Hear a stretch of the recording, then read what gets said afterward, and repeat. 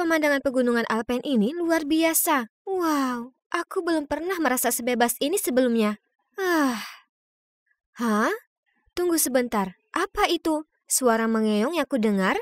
Aku mengikuti suara itu ke sungai yang deras di dekatnya. Dan di sana, terperangkap di batu di tengah-tengahnya, ada seekor kucing yang ketakutan. Oh tidak, kasihan sekali. Aku harus membantunya. Aku segera meraih pohon terdekat lalu mencondongkan tubuh ke arah batu dengan payung terbuka di sisi lain agar si kucing bisa melompat. Kucing itu ragu-ragu sejenak sebelum melakukan lompatan. Tapi ternyata lebih berat dari yang kuperkirakan. Aku kehilangan keseimbangan dan jatuh ke sungai. Aku menangkap kucing itu tepat pada waktunya. Tetapi arus yang kuat membuat kucing itu tidak bisa terapung. Dalam keadaan panik, aku berteriak minta tolong. Namun ombak menerjangku dan seteguk air memenuhi mulutku. Dan dalam sekejap, aku merasakan sekelilingku menjadi gelap. Ugh, benda apa yang basah dan gatal ini yang menggosok wajahku? Aku membuka mataku dan melihat kucing itu duduk di atasku. Syukurlah dia tidak apa-apa. Tapi, aku di mana? Ini kelihatan seperti rumah pondok pedesaan. Tiba-tiba, seorang pria masuk ke kamar dengan membawa nampan. Siapa kamu? Tenang, akulah yang melompat ke sungai untuk menyelamatkan kalian berdua. Ternyata, dia kebetulan lewat di tepi sungai sementara kami ditelan arus. Dan dia tidak ragu-ragu langsung terjun untuk menyelamatkan kami, lalu membawa kami kembali ke rumahnya. Oh, um, terima kasih untuk semuanya. Tentu saja. Ini, makanlah. Jadi, kenapa kamu dan Topas jatuh ke saluran air? Siapa? Oh, maksudmu kucing itu? Kenapa kamu tahu namanya? Di sini tertulis. Lihat, kalau begitu, kurasa ini bukan kucingmu? Ku beritahu dia bagaimana aku tidak sengaja menemukan Topas. Jadi, keluarganya pasti tinggal di sekitar sini. Mendengar itu, dia setuju untuk membantuku menemukan pemilik topas keesokan harinya. Dia bahkan memberiku tempat tidur untuk malam itu, lalu keluar dan berkata dia akan tidur di sofa. Tapi sebagai tamu aku tidak bisa membiarkan dia melakukan itu. Jadi aku mengambil selimut dan duduk di sebelahnya. Kamu punya tato keren ya? Terlihat seperti planet Mars kecil kan? Oh, itu tanda lahirku, satu-satunya peninggalan orang tuaku untukku. Hans kemudian bercerita kepadaku bahwa dia tumbuh tanpa mengetahui siapa orang tuanya atau kenapa mereka meninggalkannya. Pada usia 18 tahun, dia pindah dari panti asuhan dan datang ke sini untuk menjadi seorang herbalis.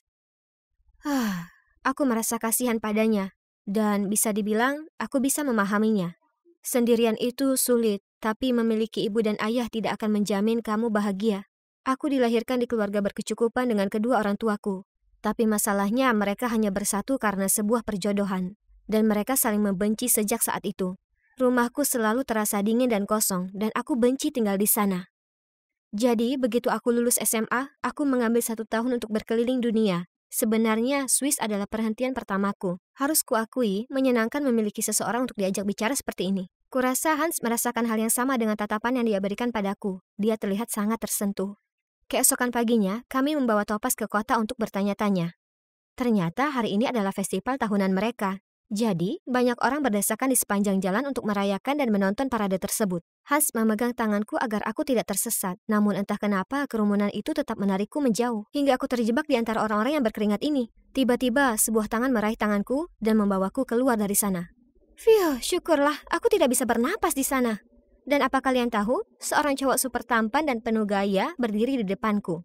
Apa kamu baik-baik saja? Saat itulah aku menyadari bagian ekor gaunku robek. Karena ketakutan, aku mencoba menutupinya. Jadi dia mengeluarkan shell sutra dan mengikatkannya di pinggangku.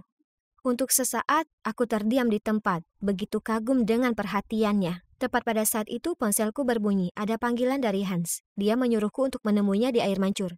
Um, sedikit masalah, aku tidak tahu di mana tempat itu. Ya, beruntungnya aku, pria gagah ini menawarkan untuk mengantarku ke sana. Kami mengobrol sepanjang jalan dan aku mengetahui namanya Willard. Dia tinggal di kota terdekat dan ada di sini untuk festival. Aku mengatakan aku datang untuk mencari pemilik kucing hilang yang aku temukan.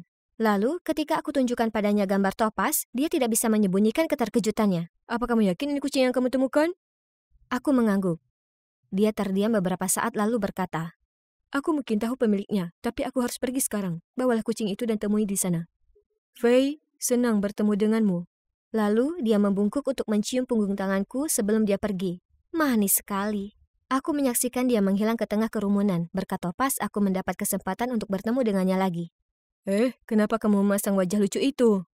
Aku menceritakannya tentang Willard dan meyakinkan untuk ikut bersamaku ke alamat yang tertera di sapu tangan. Dia tampak skeptis pada awalnya, tapi kemudian menyerah. Maksudku, selain ini kita tidak tahu, itu layak dicoba, bukan? Keesokan harinya kami pergi ke tempat yang diberitahukan Willard kepada kami. Tapi, serius, benarkah ini tempatnya? Kenapa ada barisan orang yang memegang kucing yang hampir mirip dengan Topas? Mereka bahkan memiliki kerah yang sama. Apa yang sedang terjadi? Aku bertanya ke seorang lelaki tua yang duduk di bangku.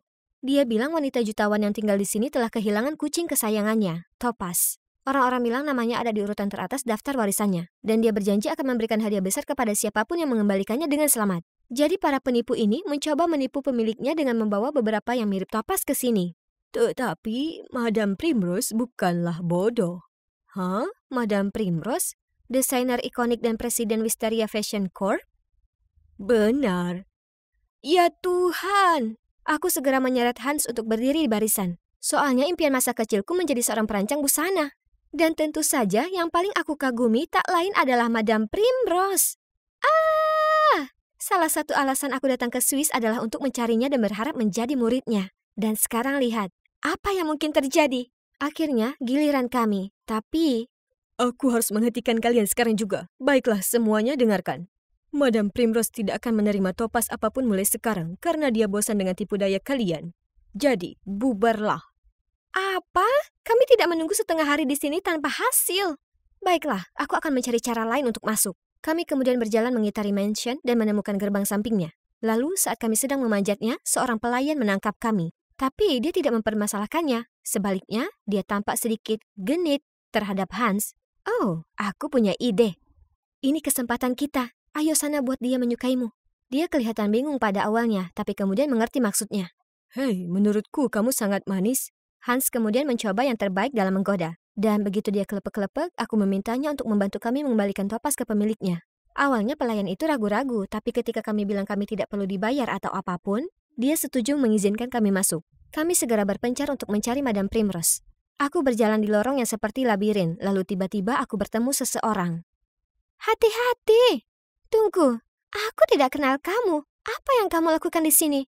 Aku, uh, uh... Dia teman baruku. Apakah ada masalah? Maaf, Tuan Muda. Itu Willard. Dia datang untuk menyelamatkanku lagi. Senang bertemu denganmu lagi, Tuan Muda Willard. Kamu tinggal di sini? Kenapa tidak menelpon ketika kamu tiba? Kamu bawa kucingnya? Di mana itu? Berikan padaku sekarang juga. Willard, tenang. Topas aman. Aku baru tahu pemiliknya adalah Madame Primrose dan... Aku cucunya. Berikan saja kucing itu kepadaku sekarang. Perilaku gelisahnya sepertinya mencurigakan. Aku mundur beberapa langkah darinya, menolak melakukan apa yang dia katakan, lalu berlari. Kamu tidak mengerti. Tepat pada saat itu, Hans dan Madame Primrose muncul. Itu dia. Kamu baik-baik saja? Dia bertanya dengan cemas. Tapi yang bisa kulihat saat ini hanyalah Madame Primrose. Dia mendekatiku, memegang tanganku, dan berulang kali mengucapkan terima kasih karena telah mempertaruhkan nyawaku untuk menyelamatkan Topas. Ini luar biasa. Hmm, tapi kenapa Willard pergi begitu saja tanpa berkata apa-apa? Madame Primrose mengundang kami menginap untuk makan malam malam itu. Willard dan ibunya Agneta juga bergabung dengan kami. Madame kemudian memberitahuku betapa berartinya topas baginya. 20 tahun lalu, dia kehilangan putranya, Tuan Alvarez, karena kecelakaan mobil. Lalu setahun kemudian cucunya Leroy menghilang. Kesedihannya hampir tak tertahankan, tapi kemudian dia dikaruniai seekor kucing, Topas. Dan berkat dia, dia mulai sembuh. Ku coba menghiburnya dengan mengatakan bahwa dia masih memiliki Willard cucunya yang luar biasa dengan selera fashion luar biasa yang diwarisi dari neneknya. Namun, yang mengejutkanku, Madame Primrose mengatakan Willard bukanlah cucu kandungnya. Karena Agneta sebenarnya adalah istri kedua Tuan Alvarez dan merupakan ibu tiri dari cucu Leroy yang hilang. Dan Willard adalah putranya dari mantan suaminya. Aku dapat melihat Willard dan ibunya merasa sangat tidak nyaman. Willard pasti merasa sangat terluka karena Madame Primrose tidak pernah menganggapnya sebagai anggota keluarga. Lalu alur pemikiranku disela oleh Hans. Uh, Kenapa dia tidak menyuruhku untuk memberinya garam saja daripada menempelkan tangan kanannya ke wajahku seperti ini? Tiba-tiba, Agneta menatapnya malu dan menumpahkan anggur ke seluruh meja. Bu, ibu baik-baik saja? Dia tidak menjawab, tapi pergi begitu saja. Aku tahu itu karena dia melihat tanda lahir Hans. Apa ini? Dia tidak sopan sekali. Dia pasti sedang tidak sehat. Aku akan memeriksanya.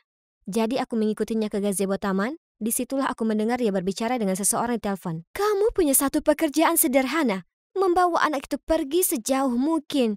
Tunggu, coba tebak. Dia muncul kembali. Aku tersentak kaget dan saat itu sebuah tangan menutup mulutku. Shh, diam.